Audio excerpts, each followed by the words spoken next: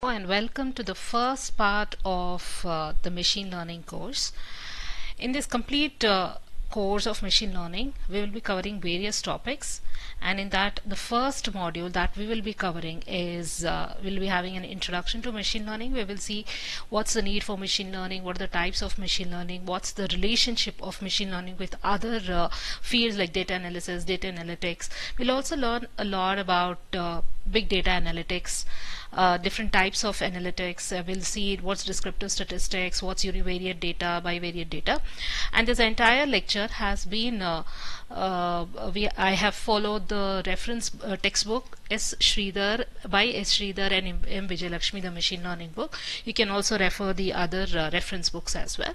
Today's session I will mainly discuss about the need for machine learning and what is the knowledge pyramid. So let's start. So basically uh, the need for machine learning is the various business organizations today they have numerous data. So there's a need for machine learning uh, today and one of the some of the three primary reasons that we can state here is the first one is the high volume of available data right?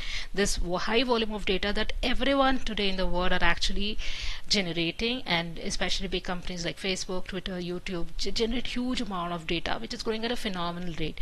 And it is even estimated that the data actually doubles every year. The second reason is the cost of storage of data that has drastically reduced over these uh, recent years the hardware cost has come down now it's easier for everyone to capture the data to process the data to store the data distribute data and transmit the information the third reason is availability of complex algorithms. Especially with the advent of deep learning, many algorithms are not available here to solve complex scenarios, right?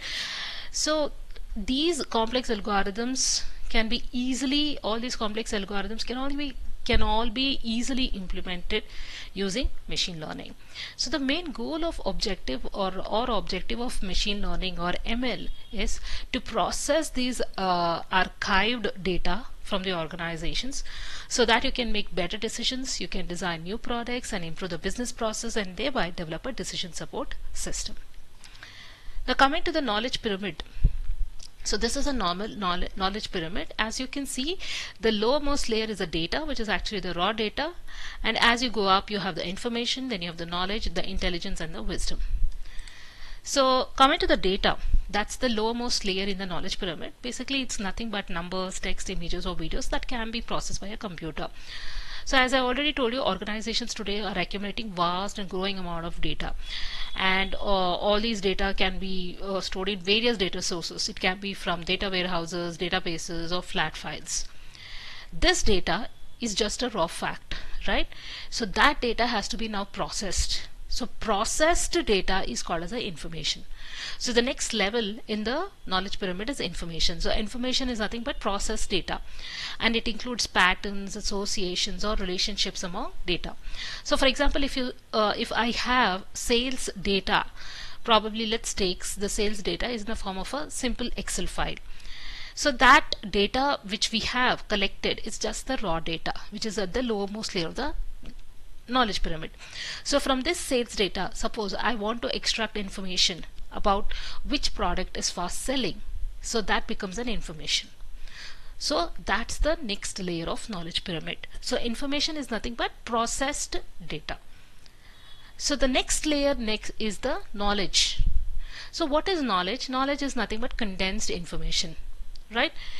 See, unless knowledge is extracted, the data is of no use right?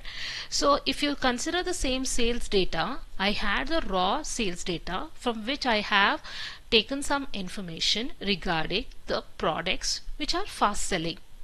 Now about this fast selling data if I try to analyze what are the historical data about this fast selling data what was the historical pattern of sale of this fast selling product and what is a future trend of this product. So then that becomes the knowledge. Okay? So knowledge is a condensed information.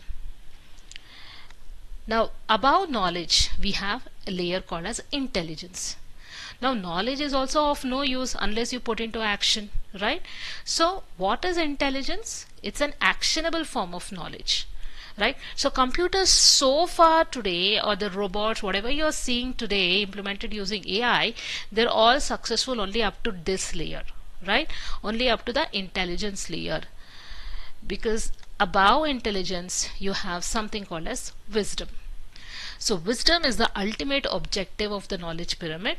It is a maturity of the mind that is so far exhibited only by the humans so here comes the need for ML. So basically what's the objective of machine learning or ML?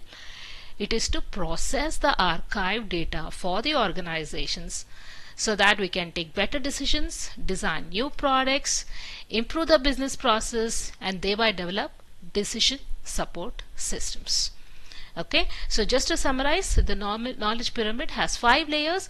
Data at the lowest most layer wisdom at the topmost layer. Data is followed by information which is nothing but the process data. About that you have knowledge which is the condensed information. About that you have intelligence and about that you have wisdom so that was about today's session where we have just discussed about what's the uh, need for machine learning and we have discussed what's the knowledge pyramid. In the next session, we will discuss about what is ML. We'll see the formal definition of ML in the words of Tom Mitchell. So we'll meet you in the next session with regarding to this. So please subscribe to the channel and uh, please subscribe so that you can stay in touch with all the other contents of the channel. Uh, thank you so much.